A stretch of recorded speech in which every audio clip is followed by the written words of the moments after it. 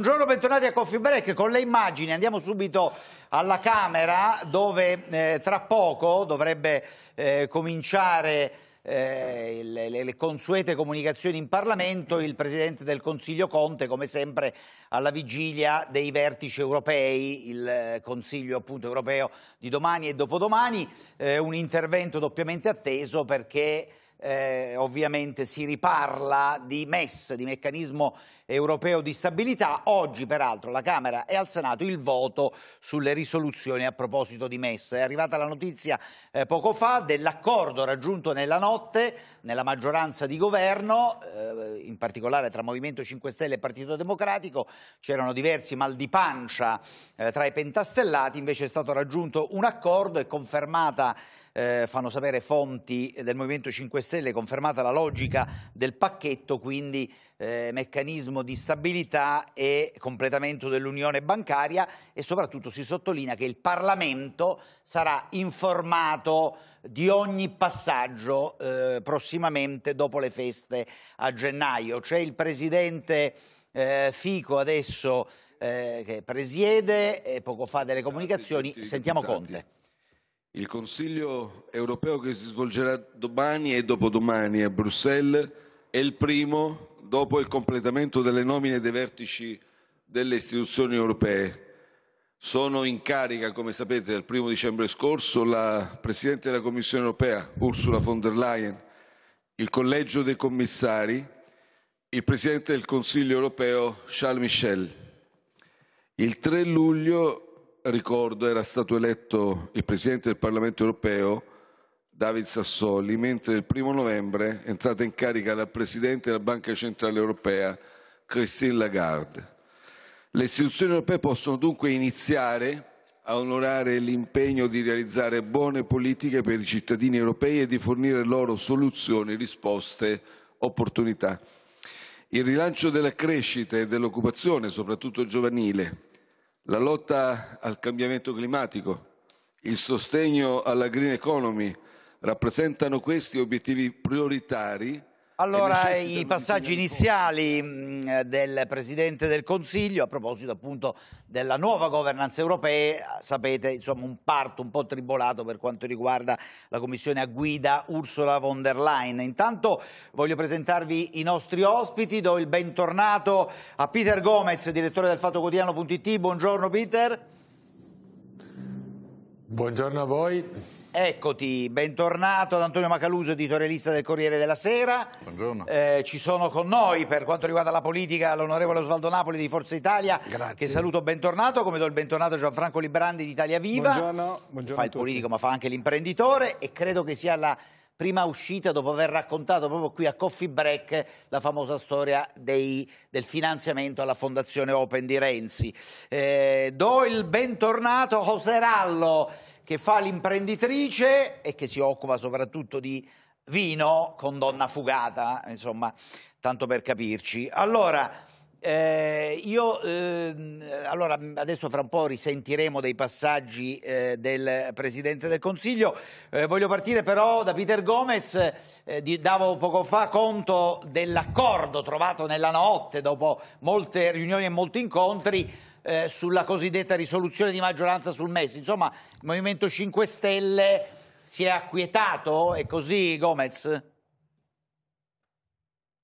Ah, da quello che ho letto, sono informato come voi, sì, ma sembrava abbastanza logico che il governo non potesse cadere uh, realmente sul MES prima di approvare la manovra di bilancio. Uh, D'altra parte il, uh, di quello che aveva fatto l'Italia sul MEF il governo precedente giallo-rosso era largamente informato. Io credo che questo sia un passaggio importante, che sia giusto che si discuta in Parlamento, perché è innegabile che delle cose cambiano. Uh, è vero che la ristrutturazione del debito non sarà automatica, ma il fatto di parlare di ristrutturazione del debito, uh, sia pure indirettamente all'interno delle clausole del MES, Uh, non è un passaggio indifferente perché questo ce lo raccontano anche una serie di economisti uh, che non sono certo ascrivibili ai sovranisti. Quindi è bene che una decisione del, del genere venga seguita passo passo dal Parlamento. Il MES esisteva anche prima, adesso sì. cambia un pochino. Certo, eh, ecco diciamo che forse questa discussione non solo ha permesso eh, di parlare di eh, regolamenti, trattati, regole europee importanti, mettendone ovviamente a conoscenza l'opinione pubblica, ma è importante anche il fatto, la sottolineatura a cui facevamo riferimento prima, che adesso il Parlamento in qualche modo sarà più presente in ogni passaggio fino dovrebbe, alla firma scusa, conclusiva. Ma, ma dovrebbe essere una cosa eh? normale dovrebbe essere una cosa normale che il Parlamento venga, ah, come certo. dire, non, non, vedo niente di eccezionale. Quando sento queste dichiarazioni eh, anche esatto. da parte dei politici, non da Gomez, che Gomez sì. direi che firmerei quello che lui ha detto totalmente. Questa è una eh, notizia, già. Esatto, questa è una notizia perché ha detto in, in parole, parole, molto semplici quello sì. che la gente non capisce, ma quella che dice verrà informato il Parlamento di volta in volta. Ma io vi chiedo scusa, ma è una cosa ma poi più su una materia non... così delicata, no? Ah, ma, ma, ma, è tutto delicato quello che arriva in Parlamento. Mm. Eh, vi chiedo scusa, quindi non vedo niente di eccezionale, ah, vedo ah, un fatto normale. Allora, voglio chiedere a Macaluso un'altra cosa, perché eh, il MES certo aveva creato molte criticità all'interno della maggioranza. Eh, mi pare di capire che insomma, dovrebbe passare questa giornata in maniera tranquilla, a parte quello a cui assisteremo stasera in Senato dove Conte riparlerà e ci sarà ovviamente uno scontro soprattutto con Salvini no? nel dibattito, eh, però ti chiedo eh, c'è qualche altro ostacolo all'orizzonte? Mi viene in mente c'è la, la prescrizione. Eh? C'è la giustizia, certo, tutto oh, il tema. Lo dico anche eh, perché Peter Gomez ha da poco pubblicato per Paper First, cioè la casa editrice del Fatto Quotidiano, La Repubblica degli Impuniti. Eh? Eccolo, ma no, noi abbiamo anche la copertina, credo. Eccolo eh, qua. Eccolo lì, così la prescrizione, le leggi vergogna salvano i potenti. Su questo Macaluso credi che si possa invece... Eh, ci possono essere problemi maggiori? Beh, sicuramente la linea di compromesso su un tema così delicato sarà difficile da trovare, c'è una discussione ed evidentemente penso che ci, ci, proveranno, ci proveranno in tutti i modi, però c'è proprio una diversità profonda tra le varie anime del governo su questo e non penso soltanto al, al PD e ai grillini o almeno a una parte diciamo, dei, dei, grillini, penso anche a Renzi sostanzialmente che mm. eh, è su posizioni totalmente, totalmente diverse. Eh, non so se questo fosse il momento più opportuno diciamo, per affrontare un tema, un tema, così delicato come quello della prescrizione di fronte a un sistema giudiziario che eh, fa acqua da tutte le parti e, diciamo, e che nel complesso meriterebbe forse diciamo, una, eh, una, riforma, una riforma eh, più ampia, cioè prendere dei, dei, dei, singoli pezzi di volta in volta mm. Eh, non credo che sia, eh, anche se può sembrare più semplice per certi versi, diciamo, la tecnica del carciofo, però credo che in realtà poi nasconda evidentemente dei, delle problematiche che possono effettivamente essere un grosso problema per il governo. Adesso, visto che tiravi in ballo Renzi, poi ci torniamo in maniera più dettagliata sulla questione giustizia e prescrizione in particolare, allora eh, dobbiamo sentire l'onorevole Librandi, no? Non vi piace eh, la prescrizione così come l'ha disegnata il ministro Bonafede e che scatterà o dovrebbe scattare, mettiamo il condizionale, dal primo gennaio prossimo? No, non scatterà. Eh, abbiamo, fatto, abbiamo preso delle posizioni precise e abbiamo chiarito che questo meccanismo non scatterà perché è un meccanismo che danneggia i cittadini. Eh, il ministro Bonafede mh, ha delle sue visioni sulla giustizia, io mi ricordo delle dichiarazioni di Di Maio che diceva parleremo di prescrizione quando riformeremo la giustizia, quando, diciamo, come diceva Maccaluso, eh, metteremo, analizzeremo tutto l'impianto della giustizia perché ci sono tante cose da cambiare. Comunque la prescrizione è sicuramente una nostra battaglia e noi non la eh, faremo eh, quindi, passare. Insomma eh, dovremo monitorare con grande attenzione tutto quello, anche perché i giorni che mancano sono pochi, eh? parliamoci in maniera molto franca. Cioè o c'è un rinvio o c'è una proroga che già c'era stata, perché con la Lega al governo la Lega aveva chiesto una riforma organica complessiva, mentre il Movimento 5 Stelle premeva soprattutto per la prescrizione. Ma le dichiarazioni di questa mattina anche del Movimento 5 Stelle sono più morbide, diciamo, sono più possibiliste mm. di un rinvio e di una discussione più avanti. Sì, adesso poi ci torniamo, voglio coinvolgere però anche Roserallo per chiederle ma per chi fa impresa in questo paese? La discussione che stiamo facendo, il MES, la prescrizione, hanno valore o no? Eh, assolutamente sì, sappiamo tutti che avere dei tempi della giustizia doppi rispetto non solo alla Germania, che è sempre il nostro benchmark, ma anche sì. rispetto alla Spagna, per esempio, no? è un dramma. Sono punti di PIL che si perdono, sono punti di occupazione che si perdono, sono, mi permetto di dire, non soltanto un ostacolo per l'imprenditore italiano, ma anche per l'imprenditore straniero che vorrebbe portare i suoi capitali in Italia ed è quello di cui l'Italia e il Sud Italia ha enormemente bisogno di capitali stranieri per sì. investimenti importanti. Una giustizia incerta, una giustizia lenta, così come una pubblica amministrazione lenta, incerta, corrotta, sono grandissimi ostacoli eh, all'economia. di investimenti. No, mi fa piacere sentire questo perché spesso da qualche imprenditore si sente dire no, i problemi sono altri, la pressione fiscale, che pure c'è come, eh, la, la burocrazia fiscale, il costo del lavoro, lei dice no, guardate che la giustizia è elemento cruciale per chi fa impresa. Sì, io voglio dire una cosa, il problema grosso di questo paese, di cui fanno parte lo Stato, gli imprenditori, i cittadini, è la produttività.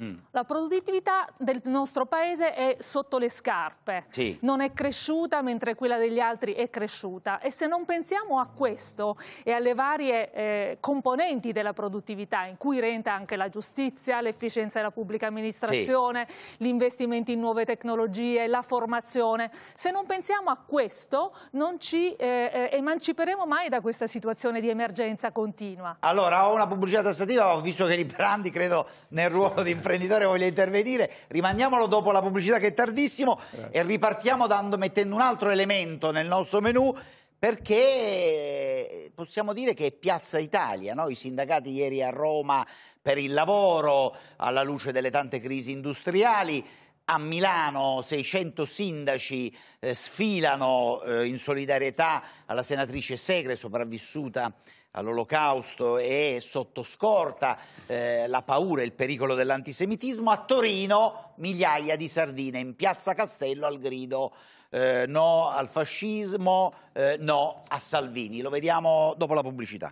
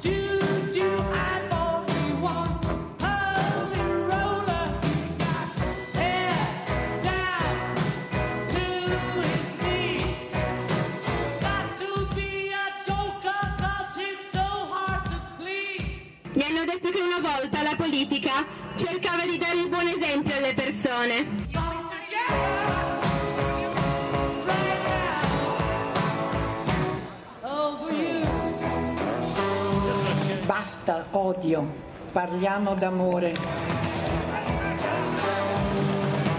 Io prendo il positivo, il positivo è che 600 sindaci e sindache hanno deciso di essere qua, quindi è anche un messaggio, guardate che noi non ci tiriamo indietro.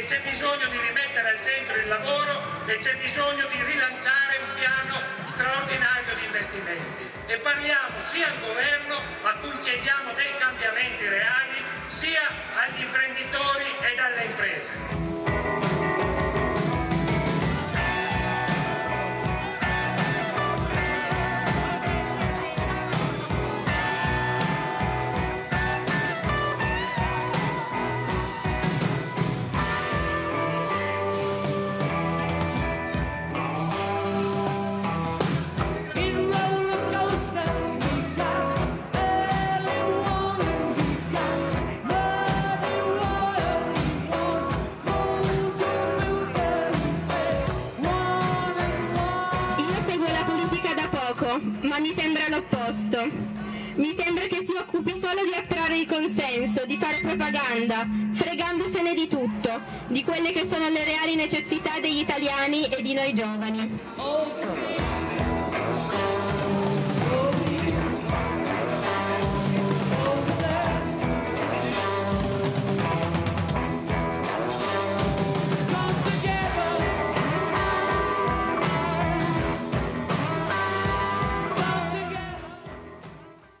Le immagini, le voci, i protagonisti eh, in questo servizio curato dalla linea Bruno. Allora, riparto da Peter Gomez. Qualcuno ha scritto in questi giorni, in queste settimane, eh, nelle piazze italiane che sono tornate protagoniste, c'è un'Italia diversa, non è l'Italia arrabbiata, rancorosa. Che sta succedendo dal tuo punto di vista? Beh, che dopo tante manifestazioni diciamo, di Salvini e del centrodestra, chi non si identificava con Salvini e il centrodestra ha voluto far sentire la sua voce e lo fa non sotto bandiere di partito perché evidentemente non si sente rappresentato pienamente dai partiti che si oppono, oppongono a Salvini. Detto questo, io sono molto, de, detto questo, io sono eh. molto uh, preoccupato ovviamente del clima di questo paese, però uh, mantengo il senso delle misure. È vero che ci sono fronti contrapposti, eccetera, ma il 99% delle manifestazioni, sia che a destra che diciamo a sinistra, sono fortunatamente tutte pacifiche. Io sono un po' più anziano, come molti di voi in studio, certo. ci ricordiamo tutti gli anni 70 gli anni 80 quello sì che era un clima d'odio davvero. Si scendeva in piazza e non si sapeva nemmeno se si tornava.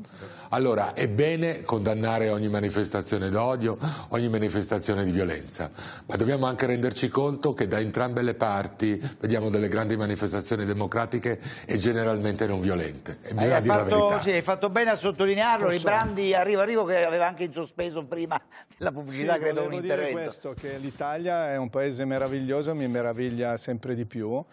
Uh, prima di tutto sottolineo che siamo sempre la seconda potenza industriale, quindi europea, il merito sì. europea è eh, sicuramente degli imprenditori ma anche dei lavoratori, quindi la produttività c'è. Diciamo che ci sono tanti problemi di burocrazia, tanti problemi di incompressione, eh, però eh, Landini eh, chiede ai, a noi imprenditori se siamo pronti a lavorare con lui e noi siamo pronti, siamo mm. pronti anche... Landini ha detto non licenziate sia, intanto, siamo, eh. siamo, anche pronti a condividere gli utili, a fare tante cose nuove. Ah, no? la, compa, la compartecipazione. Sì, no, lo dicevamo eh, da tanto tempo e mm. poi eh, dico che questa cosa che sta succedendo delle piazze piene di persone che diciamo rifiutano la situazione politica proposta da Salvini che ci voleva portare verso Orban, verso eh, mondi oscuri, mm. eh, è rifiutata dal cittadino che adagio adagio, invece di non votare, scende in piazza e manifesta la sua idea. Quindi è una bella Italia e se facciamo il conto che queste sardine eh, sono a sinistra, credo, siamo già eh, con tutti gli altri partiti, ci metto anche il Movimento 5 Stelle, anche se magari in qualche momento ci ha creato qualche problema di, così, no? di, di, di, problemi, di proposte stravaganti. Mm. Io dico che siamo già al 60%, quelli di sinistra, di centro-sinistra contro eh. una, una, un centrodestra che sta precipitando. È un Quindi, po' ottimista forse, eh, no? Io sono sempre dire, ottimista. Stando ai sondaggi mi sembra un po' ottimistica no, se fossi previsione. Salvini comincerei a preoccuparmi perché adesso il 50% eh. che erano quei 47 che non votavano stanno andando in piazza a dire che ci sono anche loro e quindi l'Italia si sta risvegliando. Si sta risvegliando e mi sento più tranquillo come italiano, come politico. Allora, sentiamo io... Svaldo Napoli, è d'accordo con questa... Innanzitutto una battuta eh. di colore, se così posso dire, sentire Sala che dice sindaco e sindache a me non piace tanto. Io ricordo, io per me il sindaco l'ho fatto 27 anni sì. e sindaco donna. stare Sala, va, no, per, no, ma, no mondo, ma, io non sto, quindi, no, non sto parlando dell'operato di Sala che è un ottimo sindaco. È una cosa, lui... chiedo scusa, è una cosa completamente eh, diversa. Però, sto dice, Napoli, posso chiedere detto una questo, cosa, i sindaci che erano ieri a Milano, sono. venuti un po' da tutta Italia, certo. in maggioranza erano sindaci di centro-sinistra. No, ma adesso, adesso vado, sul, vado, alla risposta per eh? quanto riguarda Liprandi. Allora, io parto da, da un concetto, la piazza non è di nessun colore e non è contro soltanto Salvini. La, eh, chiedo scusa, io non ho interrotto sì. ah, e, e aggiungo anche un'altra cosa, secondo me quella piazza è contro la politica una politica cioè che una piazza parte... antipo, sono piazze antipolitiche che, che, è stufa di un certo tipo di politica che cerca no. il consenso elettorale no. e non cerca invece la risoluzione dei problemi questa è la verità, perché quando Liprandi che fa l'imprenditore mi parla che c'è produttività, poi l'Istat mi dice che abbiamo meno 2% di produttività ieri e abbiamo un prodotto interno lordo che aumenta dello 0,2, intendo dire che c'è qualcosa nei governi di centrodestra, di centrosinistra, quello che tu vuoi. Io Tutti, non entro in merito, insomma. io dico soltanto vuol dire che in questi anni governi da una parte, governi dall'altra non hanno fatto nulla. Allo, allora, ah, voglio dire eh, una cosa, mi permetto un'altra cosa dicendo, no. ma veramente. No, ma ascoltati, dobbiamo sentire Mangaluso. Chiedo scusa, abbiamo ottenuto ma chiedo scusa, pazzeschi. chiedo scusa. Ma in che I, i dati, vivi? chiedo scusa, i Fortuna dati che sei di Forza Italia. Ma io tengo un rispetto. I dati che ho dato sono forse sbagliati. No, ma ho... dai anche gli ah, altri dati. No, ma dai gli altri che cosa? Se siamo in queste condizioni perché da anni che arriviamo a queste no, condizioni. c'è stato che... Salvini. Voglio fare soltanto con, con voi ma no, ma, ma no, ma, ma lascia stare. Ascolta, ascolta, anche soltanto quello che sta avvenendo in questi giorni per quanto riguarda la legge di bilancio, piaccia o non piaccia c'è un aumento di 11 miliardi di tasse ma, e c'è un, e un debito e chiedo scusi e c'è un aumento del debito Posso? pubblico c'è un aumento del debito pubblico di 16 sì, però miliardi. Un attimo, adesso un attimo, Napoli, tu, eh? Napoli, un attimo, fatemi fare un passo avanti. Io non allora, nessuno della Lega. Vado da Macaluso. Se Dio vuole, se Dio vuole io sono Osvaldo Napoli e rispondo di me stesso, non rispondo degli altri. E non sto nemmeno difendendo gli altri. un attimo di mora una moratoria, vi chiedo. Allora, che piazze sono dal tuo punto di vista? Sono piazze però dichiaratamente antidestra e anti-Salvini. Sicuramente io non sono d'accordo sul fatto che non, piazza, che non, sia una piazza politica questa delle sardine. Sì e noto con piacere peraltro che è una piazza molto diversa da quella che rappresentò l'ascesa dei 5 Stelle, la, le, le, piazze del Vaffa, diciamo, sì. che erano delle piazze che avevano dentro diciamo, una, eh, veramente una dose molto carica, molto forte di antipolitica e anche di violenza in qualche modo, ne sappiamo noi anche qualcosa come, come giornalisti diciamo, che abbiamo subito spesso. Soprattutto verbale però. So, insomma, soprattutto, diciamo, per carità, soprattutto verbale, tipo, ma sì. tu, tu, tu, mi insegni diciamo, no, che la violenza può partire sì, diciamo, sì, no, dal, no, da, dal, verbale. Questa è una piazza molto diversa che diciamo, senza, pur senza simboli di partito, pur senza, è una piazza però più matura sicuramente, yes. più, eh, diciamo, che ha invece io penso un germoglio di politica, di una politica diversa. Certamente avvisa i partiti tradizionali, partiti che hanno, che hanno è che così, che così non va, è una piazza di giovani che dicono che pensano eh, giustamente al loro futuro. È una piazza che, eh, sono d'accordo con Librandi, eh, mi rassicura, cioè mi rassicura il fatto che ci sia, come mi rassicura che dall'altra parte ci siano delle piazze altrettanto pacifiche. Eh, noi fortunatamente in Italia non abbiamo, e sono d'accordo con Gomez, noi ci ricordiamo le manifestazioni a cui partecipavamo molti, sì. molti anni fa, erano diverse no? e nello stesso tempo non abbiamo Ma avuto queste piazze testimoniano in qualche modo eh, un, eh, una ripresa anche alla, eh, dire, alla, alla passione eh, civile certo. e politica di chi magari non va più a votare. Esattamente, certo. questo potrebbe essere diciamo, la miccia che innesca diciamo, una nuova partecipazione mm. che arriva dal basso ma non è una partecipazione... Siamo sicuri che non sono eh, come dire, descrizioni che fanno i grandi giornali, i giornali e poi nella no. realtà le cose sono diverse. Speriamo eh? di non sbagliarci. Su questo un flash da, da Gomez vorrei, no? Non vorrei che fosse poi una narrazione... Non ne sono, non ne sono, non ne sono per niente sicuro, ho esattamente i tuoi dubbi. Io apprezzo tantissimo queste piazze, apprezzo chi fa politica, ma diciamo che i giornali e i media hanno una tendenza ad entusiasmarsi ah. che spesso in passato li ha portati a sbagliare. Tutto questo avviene nelle città, pochissimo nelle province, niente nelle campagne. Eh, Siamo sì. di fronte, secondo me, ancora alle due Italie l'Italia che, che vota un certo modo sopra i 60.000 abitanti, centri sopra i 60.000 abitanti e nei centri storici, sì. e l'Italia che vota spesso in un altro modo quando i centri sociali, quando i centri sociali hanno più difficoltà. Sì, cosa che avviene peraltro in Francia, Beh, in Gran questo, Bretagna. Bella sì. manifestazione. Come no, hai fatto bene a ricordarlo perché questo da, da molto, ci fa molto ben capire, ci dà la consapevolezza di poi, di poi come il consenso anche distribuito da un punto di vista anche eh, geografico. Allora dobbiamo andare in pubblicità, poi riparto da Oserallo, intanto andiamo alla Camera dove eh, il Presidente del Consiglio Conte sta ancora parlando, sentiamone proprio un brevissimo passaggio. Attenzione ai punti critici. Riteniamo negativi in particolare interventi di carattere restrittivo sulla detenzione di titoli sovrani da parte di istituti finanziari, da parte delle banche e comunque riteniamo negativa la ponderazione dei rischi dei titoli di Stato attraverso la revisione del loro trattamento prudenziale.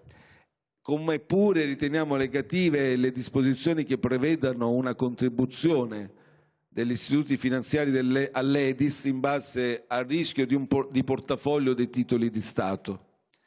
Nei prossimi passaggi del negoziato sull'unione bancaria ci faremo promotori dell'introduzione dello schema di assicurazione comune dei debi, dei, sui depositi, EDIS cosiddetto, di un titolo obbligazionario europeo sicuro, io ne ho già parlato nella informativa del 2 dicembre, il cosiddetto safe asset, semmai nella forma di Eurobond, e ci impegneremo anche per una maggiore ponderazione di rischio. Allora abbiamo colto proprio un passaggio insomma, chiave che riguarda eh, complessivamente il MES, ma in particolare a proposito del, dell'unione bancaria, il completamento dell'unione bancaria, le parole eh, di Conte, no interventi restrittivi perché poi il vero pericolo è che a soffrirne possano essere i nostri eh, titoli di Stato. Eh, mi veniva da sottolineare quasi eh, ha avuto un, un, un attimo di, eh, nel, nel, nel, dire queste cose, eh, una, quasi un,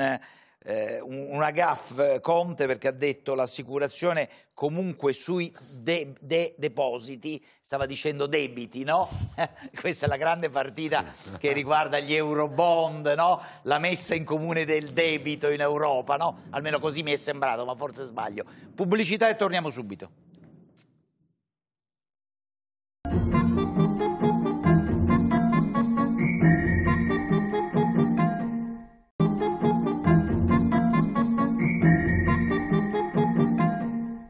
Sappiamo se il nostro stipendio sarà pagato a gennaio, non sappiamo se dobbiamo andare in cassa integrazione, non sappiamo se abbiamo delle tutele, siamo al degrado. Ex Silva, Whirlpool, Alcoa, Embraco, Bosch, lavoratori metalmeccanici, fino a ieri dipendenti di importanti realtà industriali a cui oggi va aggiunto il prefisso ex.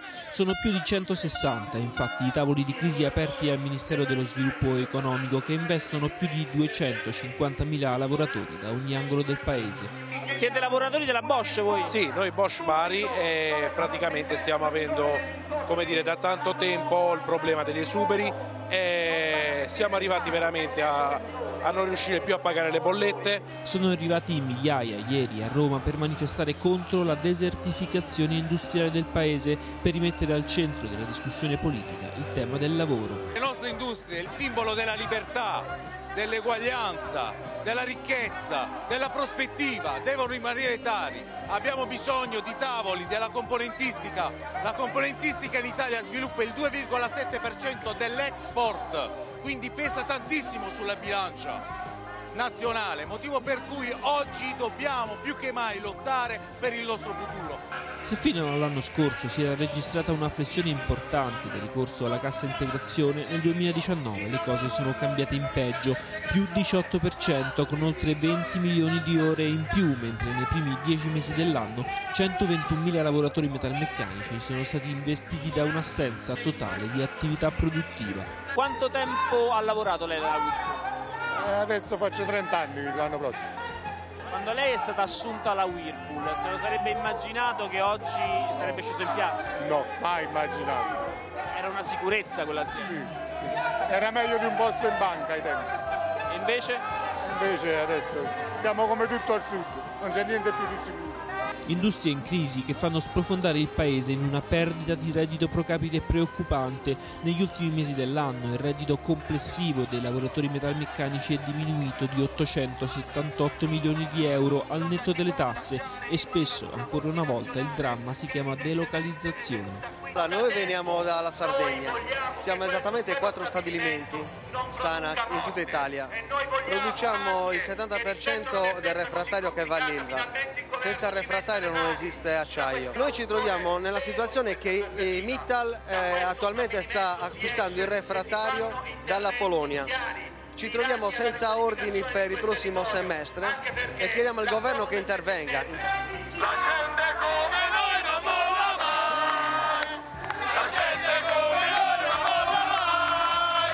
politica non è in grado di avere uno straccio di strategia industriale, ci vuole serietà, l'impresa, il lavoro devono uscire dall'agone delle liti dentro i partiti. Il lavoro deve tornare ad essere un elemento centrale, basta pensare che vale la precarietà, basta pensare che il lavoro è una merce che si può comprare e vendere, al centro deve tornare il lavoro, la qualità del lavoro e l'intelligenza delle persone. Allora, storie e testimonianze raccolte da Francesco Bardaro durante la manifestazione di ieri eh, a Roma che ci parlano dei tanti esuberi nel settore eh, manifatturiero, siderurgia in testa con la questione eh, dell'ex Ilva, ma anche in altri settori, anche nel settore dei servizi. Pensiamo per esempio agli esuberi annunciati eh, qualche giorno fa da Unicredit, una delle grandi banche italiane, quasi 6.000 solo nel nostro paese, poi ovviamente è cominciata una negoziazione con, il, eh, con i sindacati dei bancari. Eh, e vado da José Rallo, che prima, mi scuso erroneamente, pronunciavo il suo nome, non so, alla spagnola, alla sudamericana, José e José Rallo. Allora, lei opera in un settore quello dell'agroalimentare, vitivinicolo, che insomma invece è in grande spolvero, mettiamola così, settore, nel nostro paese. Diciamo di, di, di, di, successo, è un settore trainato dall'export, è un settore molto legato alla terra italiana, quindi ha un suo portato di unicità. Non si può delocalizzare. Non si dice, può sì. delocalizzare, quindi questo è sicuramente molto importante. È un settore dove ehm, tutta l'Italia è impegnata, ma soprattutto il sud. Il sud è molto impegnato in agricoltura e nel, nell'agroalimentare. E la mia Sud, Sicilia... mi scusi, che è in grande crisi, sentivamo delle testimonianze, molti Sud di questi in grande lavoratori crisi. Dopo quattro anni di crescita, dopo quattro anni di crescita il Sud eh, segna un, un trend negativo, purtroppo. Però il settore appunto dell'agricoltura, dell'agroalimentare di qualità è invece in crescita, soprattutto grazie all'export. Ma le chiedo, quando si parla di politica industriale, che vuol dire? Che allora in alcune aree di questo paese bisognerebbe orientarsi solo in quei settori? La mia idea è proprio questa, cioè mh, non possiamo mantenere in vita un settore che non ha un futuro perché non è competitivo sul mercato, per esempio alcuni eh, rami del metalmeccanico, l'elettrodomestico che i cinesi fanno a un quarto del prezzo sì. al cui lo facciamo noi, non li possiamo eh. mantenere in vita per sempre, ma dobbiamo investire sui settori che hanno dei trend positivi, eh, l'elettronica, le nuove tecnologie, il turismo perché anche lì l'Italia è unica, l'agroalimentare è unico, non possiamo buttare 10 miliardi su Alitalia e nel frattempo non facciamo sviluppare le nostre università su quei settori che hanno trend positivo o lavorare sulle eccellenze italiane che ancora fanno successo.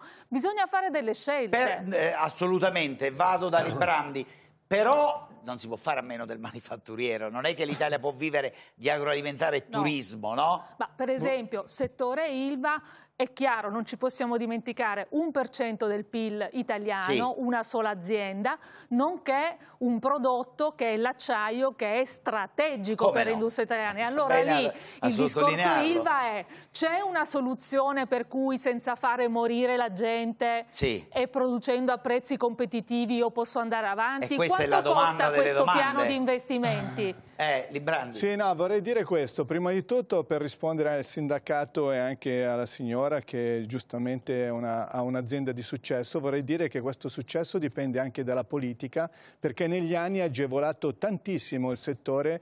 Eh, cioè, ha l'impresa? Assolutamente, le, le imprese eh, perché delle, quelle imprese si agricole lamentano sempre? Però? Si lamentano perché noi italiani ci lamentiamo sempre. Ah, Poi ecco. per quanto riguarda la situazione della crisi, i tavoli, i tavoli che gestiamo della crisi, 149 tavoli che, eh, che si occupano di 200.000 persone più 70.000 dell'indotto che non lavorano, sono eh, una cosa molto seria che tutti i governi hanno sempre affrontato con grande serietà, nel senso che si mettono lì tutti i giorni a cercare le soluzioni. Patuanelli ha fatto, eh, l'ultimo ministro eh, che si occupa di questa cosa, ha fatto un intervento in Parlamento molto eh, puntuale molto giusto, eh, che è durato anche un- più di un'ora, e ha spiegato come avviene il lavoro sui tavoli di crisi.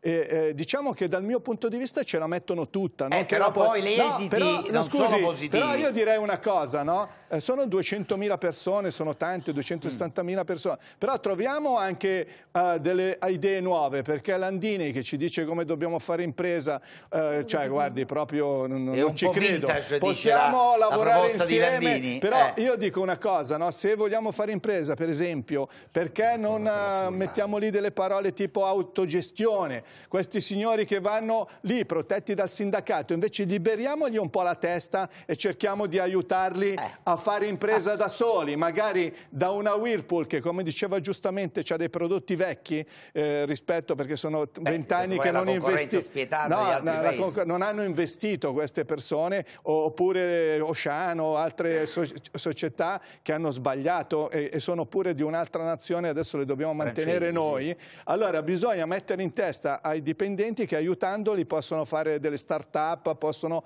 fare delle cose per continuare una parte o nel service o nella produzione di una parte dei prodotti Cioè, che sono ancora richiesti. Eh, eh, si Quindi dice diamogli- riformarli, diamo insomma, una scossa nel a senso della formazione. Scusate, un attimo solo Napoli, devo sentire Gomez su questo perché è una discussione molto interessante secondo me proprio per il futuro non soltanto del lavoro ma dell'industria e della crescita del paese. Voglio sentire come la pensa Gomez, eh, perché poi eh, sì, si può, si può disegnare il futuro a parole, ma poi bisogna fare i conti con tanti esuberi, per esempio eh, Librandi poco fa accennava alla situazione Ocean Conad, sì Conad assorbe Ocean ma ci sono due se- o tre mila esuberi in ballo. italiani, eh. Eh? Allora, ah, la politica può fare e può fare tanto, però bisogna anche renderci conto che siamo di fronte a un cambiamento epocale, siamo di fronte alla quarta rivoluzione industriale. Prima parlavamo di Unicredit, Unicredit poteva e doveva fare scelte diverse, però tutti noi sappiamo qua- quanto poco andiamo in banca con l'avvento delle banche online. Questo è l'esempio più chiaro rispetto a tutti.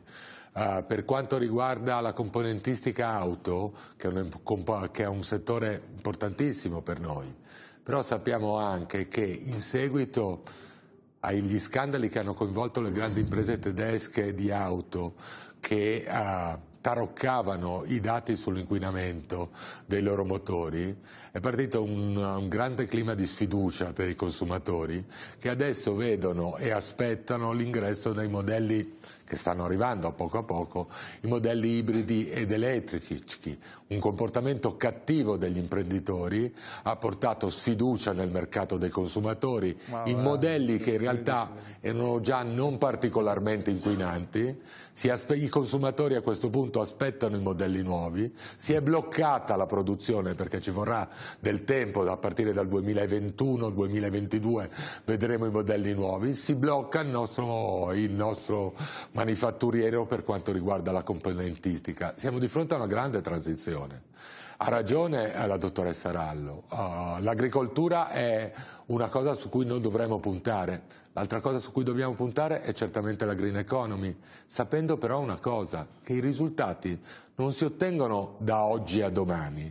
Se certo. anche trovassimo tutti i soldi da investire, non è che noi creiamo posti di lavoro in sei mesi, e allora il punto è cosa facciamo con le tante persone che di fronte a questo stravolgimento del mercato, uh, quello, che, uh, quello, che, è avvenuto negli paesi uh, dell'ex terzo mondo, eccetera, cosa facciamo di, con queste masse di persone che hanno tutto il diritto di voler vivere, campare, eccetera. È un problema enorme. Questo mi sa che è lo snodo cruciale verità, sì, di, di tutte le discussioni. Allora, no, un attimo, Napoli, dopo la pubblicità io riparto da Osvaldo Napoli, che è stato silente in questa ultima parte, però adesso c'è Paolo Sottocorona, quindi tutte le discussioni si fermano.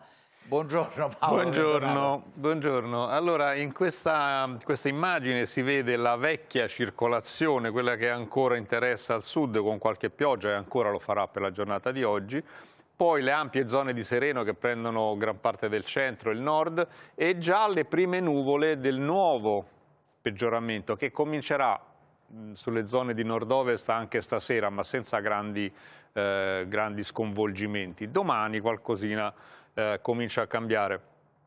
Queste sono le piogge previste per il pomeriggio di oggi, vedete quelle più intense si allontanano sullo Ionio, restano deboli al sud, si presenta qualche debole pioggia sulle zone di nord-ovest accompagnata da questo aumento della, della nuvolosità pomeriggio, serata, ma sono piogge generalmente deboli.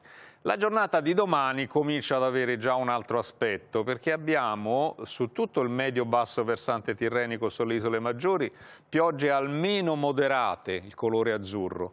Poi abbiamo questa zona che prende parte della Romagna, l'Emilia, la Toscana con, e parte della Liguria, con precipitazioni di una certa consistenza che poi tendono a estendersi un poco anche verso, almeno verso parte della Lombardia, del Veneto. E qui eh, queste piogge mh, mm, entrano in una situazione di aria abbastanza fredda, quindi le nevicate scendono a quote relativamente basse, localmente potrebbero toccare la pianura, ma mh, mm, io penso senza grandi eh, quantità, però insomma dai 500 metri mh, mm, le quantità ci potrebbero cominciare ad essere. Il tutto viene, va a sfociare nella giornata di venerdì, che è una giornata di fortissimo maltempo, un po' ovunque, con l'eccezione forse temporaneamente del Piemonte, dove vedete c'è questa piccola isola bianca in cui teoricamente non piove, ci sarà forse un effetto di fen che protegge, però al di là delle, e sulle Alpi i fenomeni sono intensi, Alta Toscana, Liguria, Appennino Tosco-Emiliano sono intensi, le coste del Veneto, Corsica, Sardegna, zone interne del centro, Basso Tirreno, insomma ce n'è un po' per tutti, quindi giornata molto critica da questo punto di vista, ma in miglioramento abbastanza rapido direi nella giornata di, eh, di sabato. Eh, questa foto sembra, questa che ci manda Andrea, eh, molto tranquilla questo, questo, uccellino, è invece una, una denuncia fortissima perché eh, Andrea è un ornitologo che si occupa di variazione delle migrazioni in relazione ai cambiamenti del clima eh, e lavora a Linosa. A Linosa questo passeraceo della famiglia dei passeri, che è del Nord America, non c'è mai stato, è la prima volta che un uccello di questo tipo arriva in quelle zone. Per le, le, il tempo che c'è stato sul Nord America è difficile capire il perché, ma è un brutto segno. Questa mattina eh, sui giornali c'era un'altra notizia che può sembrare sciocca, ma è invece inquietante, che si è avuto l'anno scorso con quel maltempo sul, eh, sui mari, con mareggiate molto forti, ci sono stati dei terremoti provocati dalle mareggiate. E questo è un bruttissimo segno, perché finora geologia e meteorologia restavano staccati. E invece se comincia il clima a influire anche sulla geologia, sui terremoti, sugli tsunami, siamo del gatto, si dice in toscano. Eh, insomma, non è che chiudi dandoci notizie eh, confortanti. Lo so, però è vero, è Grazie, che ci io già interpretavo questa foto, eh, insomma, bucolica. Vabbè, sembrava invece, bucolica. Invece siamo stati smentiti clamorosamente. Allora, grazie a Paolo Sottocorona. Qualche minuto, riparto da Svaldo Napoli, poi parliamo... Eh, c'è qualche notizia che riguarda la legge di bilancio così faticosamente all'esame del Parlamento e ritorniamo sulla giustizia e sulla prescrizione perché ci dobbiamo far dire eh, da Peter Gomez alcune cose a proposito della sua Repubblica degli Impuniti. A tra poco.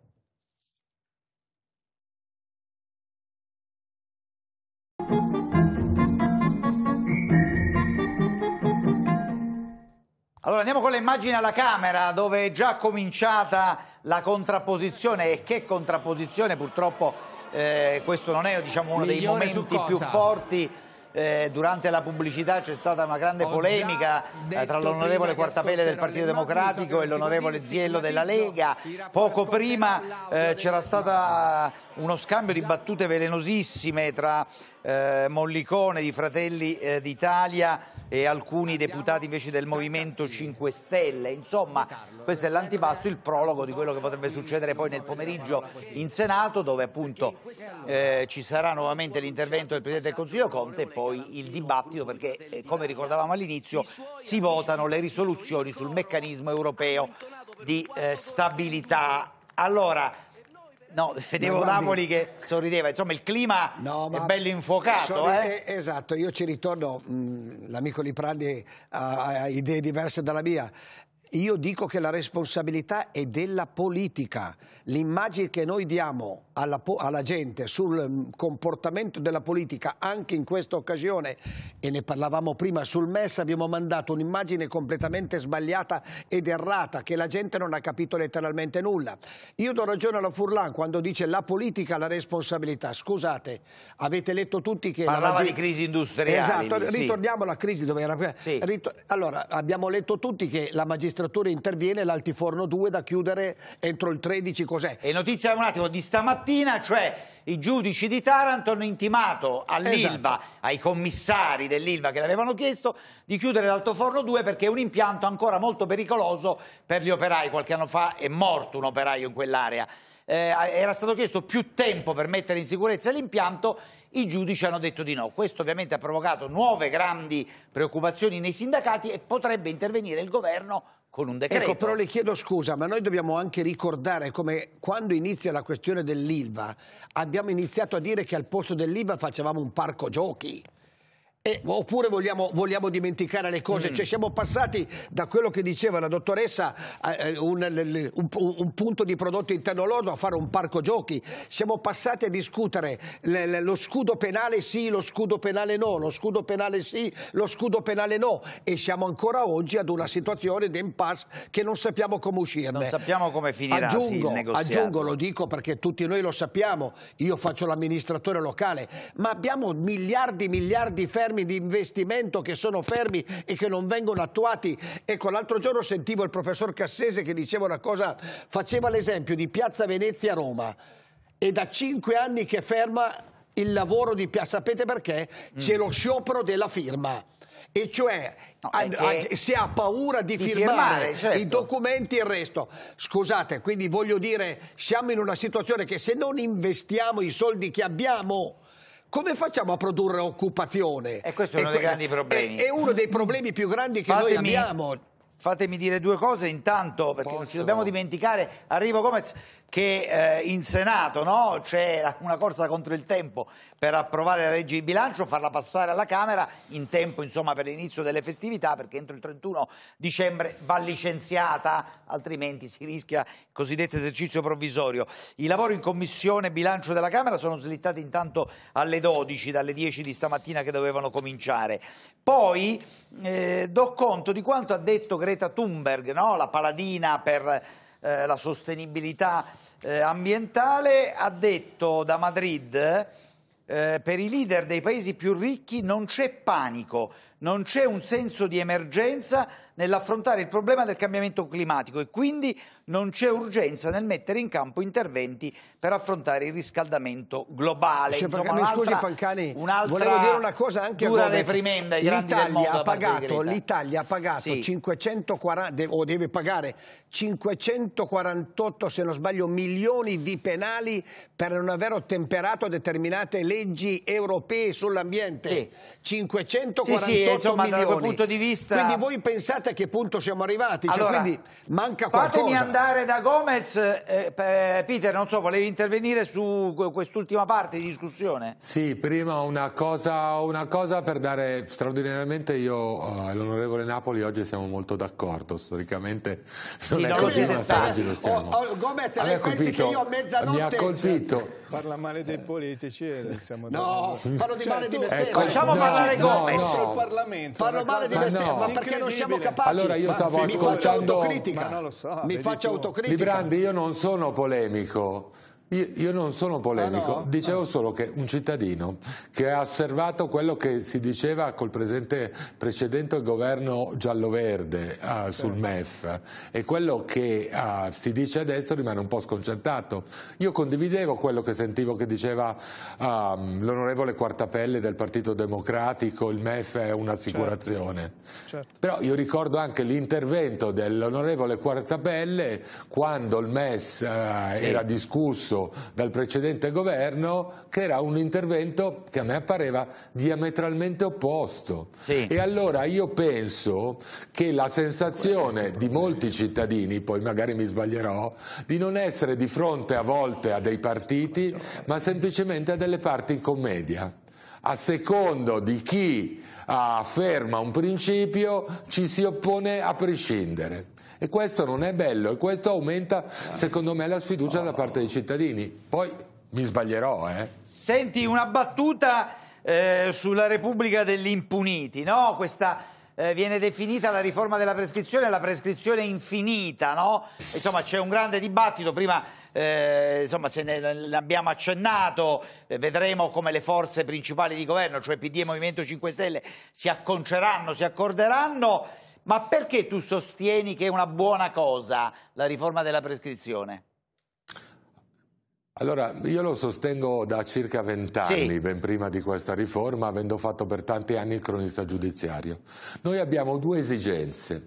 Una è l'esigenza delle vittime dei reati e non a caso tutte le associazioni di vittime dei reati sono concordi con la riforma. L'altra è la giusta esigenza che i processi non siano infiniti.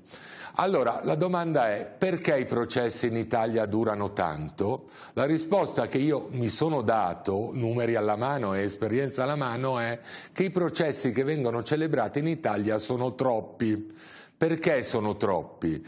Essendo troppi e dato che durano tanto perché sono dei processi giustamente garantisti che danno la maggior, la maggior, possibilità a un cittadino ingiustamente accusato di essere assolto e quindi sì. si fanno tante udienze, si ascoltano tante persone, se diventano tanti i processi puoi aumentare i giudici all'infinito ma prima o poi si ingorgheranno e questo è quello che è accaduto. Quando nel 1989 fu inventato il nostro codice di procedura penale, preso, molto, preso molto dagli Stati Uniti e dall'Inghilterra, i nostri, quelli, quelli, che lo scrissero, l'avvocato Pisapia, degli importantissimi giuristi, lo trovate nei lavori, dicevano non preoccupatevi perché intanto i processi che arriveranno in aula saranno pochi, mm. dureranno tanto, ma la maggior parte degli imputati, se raggiunti da prove forti, decideranno di non farsi processare perché sapranno che alla fine del processo gli verrà data, se colpevoli, una condanna molto dura e decideranno invece di prendersi una condanna più breve patteggiando la loro pena. Ora, nel corso degli anni è avvenuto che cambiando la prescrizione, soprattutto nel 2005 con una disgraziata legge che si chiama ex Cirielli, che l'ha molto accorciata, che tantissimi imputati hanno avuto la convenienza a dire sì le prove contro di me sono forti, però se io resisto in giudizio è possibile che arrivi la prescrizione oppure che il Parlamento voti un indulto, un indultino, una svuota carceri. Sì. La prescrizione non risolverà tutti i problemi, ma aumenta il, il, blocco della prescrizione, ma a mio avviso spingerà più imputati verso i riti alternativi.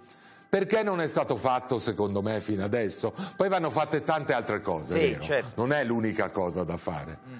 Perché se prendete l'elenco delle persone realmente importanti di questo paese, non dico solo i politici, delle classi dirigenti che pur avendo addirittura confessato i loro reati si sono salvati con la prescrizione, l'elenco diventa impressionante.